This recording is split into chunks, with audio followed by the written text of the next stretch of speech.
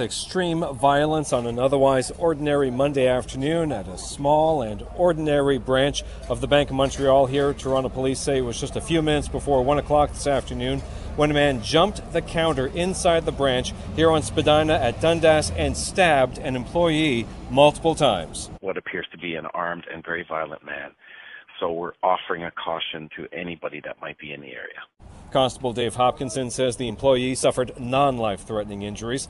And it's not necessarily the case here that this bank worker resisted the robber. The escalation could have come entirely from the suspect. We, we tell everybody that's involved in this just give the money and your, your safety is, is definitely not worth that money.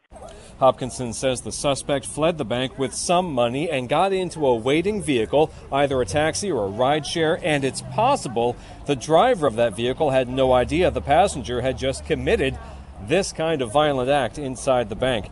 That suspect described as a man with red shoes, blue jeans, a dark coat with white stripes, a black backpack, a red hoodie, a white mask, and a yellow toque.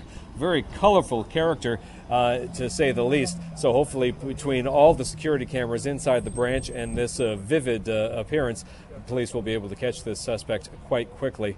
We'll keep you up to date with the developing situations. Live in Chinatown, Mark Douglas, City News.